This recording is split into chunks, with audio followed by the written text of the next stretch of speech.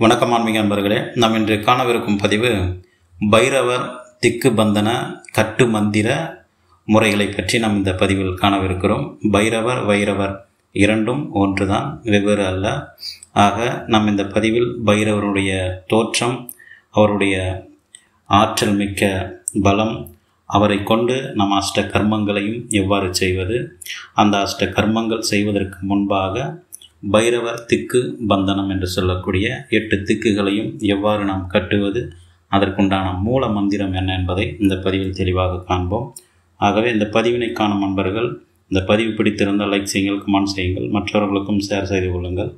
மறக்காமல் சப்ஸ்கிரைப் செய்து கொள்ளுங்கள் உடனே அந்த பெல் பட்டனையும் சேர்த்து அழித்துக் கொள்ளுங்கள். அப்பொழுது நான் தொடர்ந்து போடக்கூடிய அந்த பதிவுகள் உங்களுடைய நோட்டிஃபிகேஷன் பதிவில் வந்தடையும். நீங்களும் பார்த்து பயன்பெற முடியும். அதாவது பைரவம் பைரவர் என்பது ஒன்றுதான்.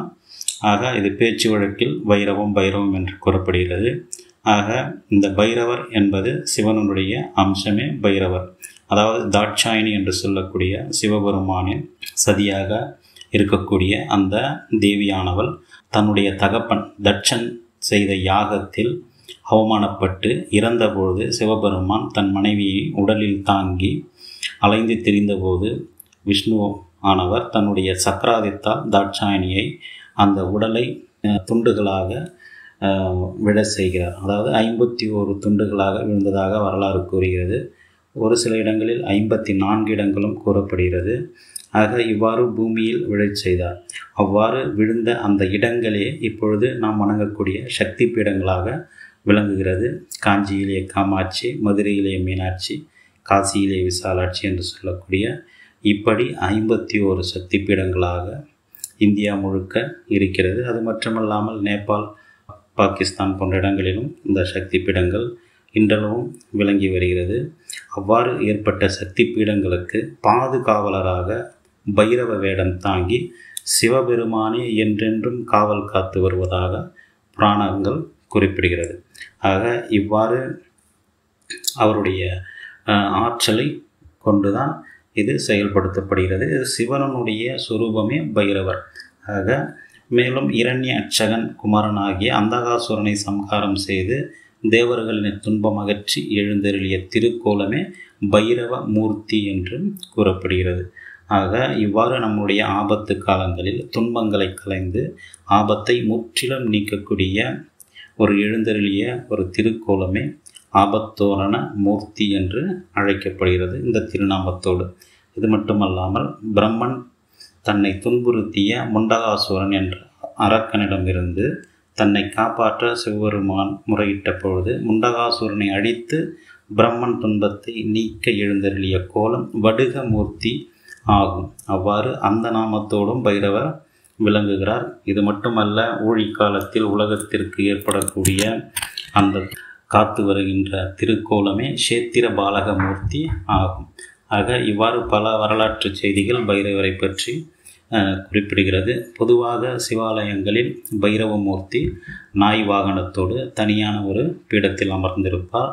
அந்த காலங்களில் கோவில்களில் நடை சாத்துவதற்கு முன்பாக நடையை சாத்திவிட்டு அந்த திறவுகோலை அந்த சாவியை பைரவர் சன்னதி முன் வைத்துவிட்டு பிறகு மறுநாள் சென்று அந்த பைரவர் சந்நிதியிடம் இருந்து எடுத்து மற்ற ஆலய கதவுகளை திறப்பது வழக்கம். அது தற்போது இப்பொழுது வழக்கத்தில் கிடையாது. அவ்வாறு மிகவும் சக்தி பொருந்திய ஒரு கடவுள் தான் இந்த பைரவமூர்த்தி இந்த பைரவ மூர்த்தியை கொண்டே பல மாந்திரிகர்கள் அஷ்டமா கர்மங்களையும் செய்கிறார்கள் செய்து இருக்கிறார்கள் இன்றளவும் ஒரு சிலர் இருக்கத்தான் செய்கிறார்கள். ஆகவே நாம் எந்த தேவதையை வணங்குகிறோம் என்பது மிக மிக முக்கியமானது. அதே நேரத்தில் அந்த தேவதையை முழு மனதாக ஏற்று முழு முதற் கடவுளாக ஏற்று அந்த தேவதையின் துணை கண்டே அஷ்ட கர்மங்களையும் செய்ய முடியும்.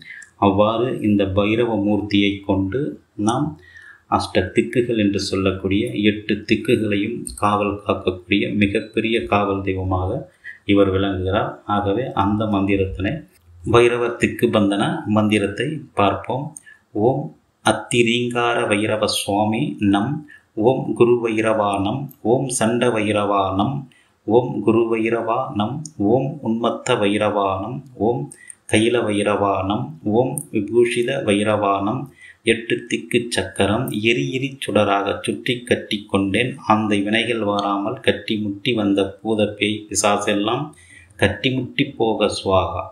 ஆக இவ்வாறு ஆயிரத்தெட்டு ஒரு வீதம் ஒரு நாளைக்கு நாற்பத்தெட்டு நாட்கள் தொடர்ந்து நாற்பத்தெட்டாயிரம் உரு ஏற்றினால் போதுமானது. இவ்வாறு தொடர்ந்து இந்த உரு ஏற்றி இந்த மந்திரத்தை சித்தி செய்து வைத்து கொண்டால் எப்படிப்பட்ட துஷ்ட சக்திகளாக இருந்தாலும் அந்த துஷ்ட சக்திகளை இந்த மந்திர கட்டு மூலம் நாம் கட்ட முடியும். ஆகவே இந்த மந்திரத்தை கூறுவதற்கு முன்பாக ஒரு வாழை இலை வைத்து அந்த வாழை இலையில் அவல் பொறி தேங்காய் பழம் ஊதுபத்தி கற்பூரம் இவைகள் எல்லாம் வைத்து தேவைப்படுபவர்கள் அசைவ பூஜையாக செய்யலாம். ஒரு சிலர் சைவ பூஜையும் செய்யலாம். அசைவ பூஜையாக செய்பவர்கள் சேவல் பலி கொடுத்து இந்த பூஜையை செய்யலாம். இந்த பூஜைகளை பற்றி அஷ்ட பைரவர்களின் பூஜைகளை பற்றும் அஷ்ட பைரவர்களுடைய பதிவுகளாக எட்டு பதிவுகள் நான் ஏற்கனவே பதிவிட்டிருக்கிறேன். அந்த பதிவுகளையும் பார்த்து பைரவரை எவ்வாறு வணங்க வேண்டும் என்பதை பற்றி தெரிந்து கொள்ளுங்கள்.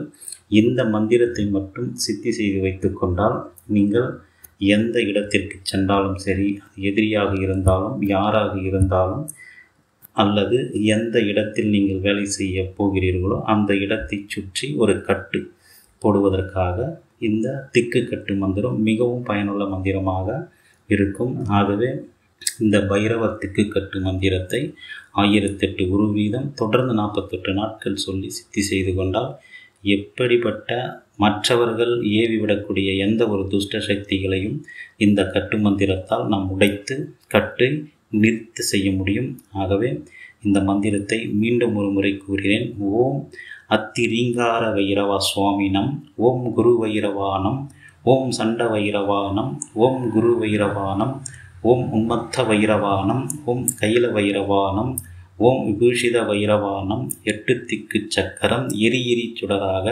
சுற்றி கட்டி கொண்டேன். ஆந்தை வினைகள் வாராமல் கட்டிமுட்டி வந்த பூத பேய் பிசாசுகளெல்லாம் கட்டிமுட்டி போக சுவாகா என்று இவ்வாறு தொடர்ந்து ஆயிரத்தெட்டு உருவிதம் நாற்பத்தெட்டு தினங்கள் தொடர்ந்து பூஜை செய்யுங்கள்.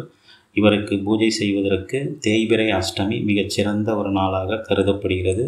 ஆகவே தேய்பிரை அஷ்டமி நாளில் தொடங்கி அடுத்த தைபிரை அஷ்டமி வரை ஒரு மாதம் வரை கூட நீங்கள் இந்த மந்திரத்தை ஜபிக்கலாம். ஆக உங்கள் வசதிக்கேற்ப காலை இரவு அல்லது காலை மாலை இவ்வாறாக இந்த மந்திரத்தை ஜபித்து இதை சித்தி செய்து கொண்டால் எப்பேற்பட்ட எதிரிகள் விடக்கூடிய ஏவலாக இருந்தாலும் அது பில்லி சூனியமாக இருந்தாலும் எதிரெத்து என்று சொல்லக்கூடிய அளவிற்கு மற்றவர்கள் யார் என்ன செய்தாலும் நாம் இந்த மந்திரத்தை கூறுவது மூலமாக இதுவே அவர்களுக்கு எதிரெத்து மந்திரமாக அந்த வரக்கூடிய வினைகளை தடுத்து நிறுத்தக்கூடிய ஒரு ஆற்றல் மிக்க திக்கு மந்திரமாக இது திகழும். ஆகவே முழு மனதுடன் நம்பிக்கையுடன் இதை செய்து பயன்பெறுவீர்கள் என்று கூறி மீண்டும் அடுத்த ஒரு நல்ல பதிவில் உங்களை சந்திக்கிறேன். நன்றி வணக்கம்.